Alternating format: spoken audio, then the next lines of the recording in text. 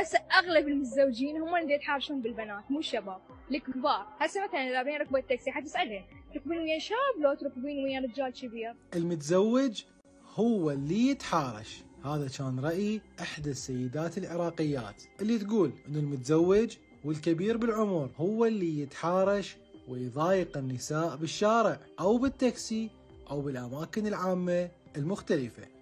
قبل كانوا الأهالي يوصون بناتهم اركبوا ويا التاكسي اللي كبير بالعمر على اعتبار الشايب عقل كبير ومحترم ويعرف الصح من الغلط والطالبة أو الموظفة تكون بقد بناته. بس اليوم السالفة صايرة بالمقلوبي للأسف. قامت البنية توثق بالشاب أكثر من الشايب سواء بالتاكسي أو كاختلاط بالحياة العامة. تبقى هالأمور مو قانون والكل قاعدة شواذ. بس برأيكم منو اللي يتحارش أكثر؟ الشباب لو الشياب؟